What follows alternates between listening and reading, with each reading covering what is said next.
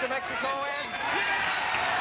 It's spinoff, the game show with a strategy of poker and the excitement of $10,000 with host Jim Lange.